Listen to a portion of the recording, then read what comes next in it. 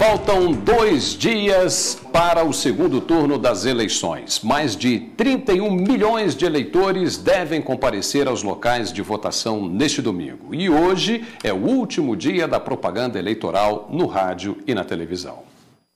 Esta sexta-feira é o último dia para candidatos ao segundo turno das eleições 2012 participarem da propaganda eleitoral gratuita veiculada no rádio e na televisão.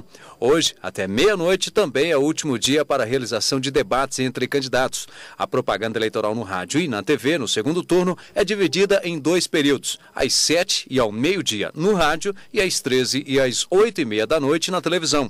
Cada candidato dispõe de dez minutos. Já a propaganda com alto-falante, amplificador de som, carreado data e a distribuição de material impresso, de acordo com o calendário eleitoral, é permitida até a véspera da eleição, não podendo ser realizada após as 10 da noite de sábado.